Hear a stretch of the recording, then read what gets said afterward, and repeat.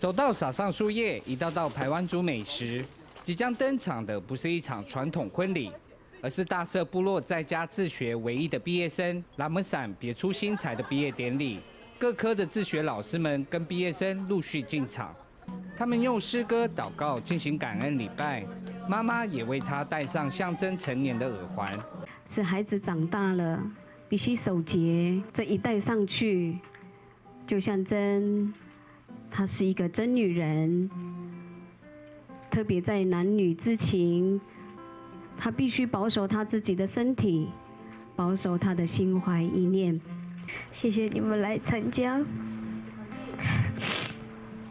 我的毕业典礼，希望去面对还有聆听，有话要跟我们说的人。我看到就是学校教育、生活教育、社会教育、家庭教育，其实是密不可分的。希望你们这样的自学可以继续下去，虽然。外面那些长者都有很多那个不友善的言论这样子，然后我希望你们能够能够再再接再厉这样子。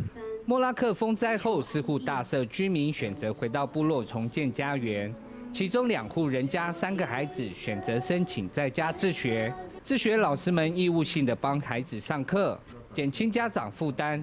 虽然他们在家自学一直不被外界看好，但他们仍会坚持的走下去。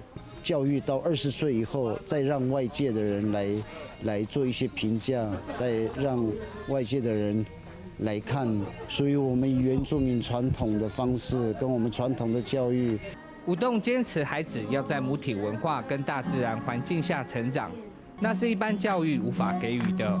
看到他们独立自主思考与表达能力的提升，他们说相信时间能证明他们的坚持是对的。记者歌舍屏东三地门采访报道。